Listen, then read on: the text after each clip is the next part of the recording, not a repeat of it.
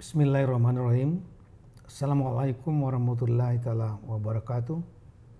Salam sejahtera untuk kita semua. Shalom, Om Swastiastu, Nama Budaya, salam kebajikan, salam sehat dan bahagia tanpa narkoba. Pada kesempatan baik ini, saya beserta seluruh keluarga besar Kementerian Dalam Negeri dan Badan Nasional Pengelola Perbatasan mengucapkan selamat hari jadi yang ke-21 tahun Badan Narkotika Nasional Republik Indonesia.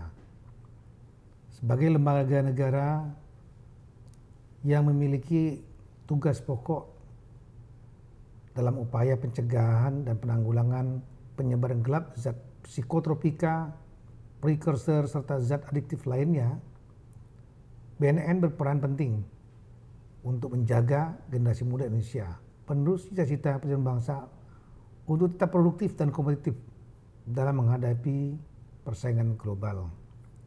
Melalui momentum yang berbahagia ini saya berharap BNN sebagai garda terdepan untuk penanggulangan narkotika dan zat adiktif lainnya agar dapat terus menjaga profesionalisme, dedikasi, serta meningkatkan pengetahuan, keterampilan, kompetensi dalam rangka untuk merantas jaringan tidak pidana narkoba baik dalam skala lokal, nasional, regional bahkan internasional.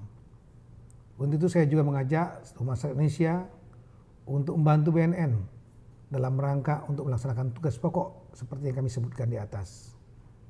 Dan Kementerian Negeri sebagai pembina dan pengawas pemerintah daerah siap untuk bekerja sama untuk seluruh daerah kita bangkitkan perang melawan narkoba agar bangsa kita, generasi muda kita dapat selamat dari ancaman narkoba. Sekali lagi saya ucapkan Dirgahayu Badan Narkotika Nasional BNR War on Drugs Speed Up Never Let Up.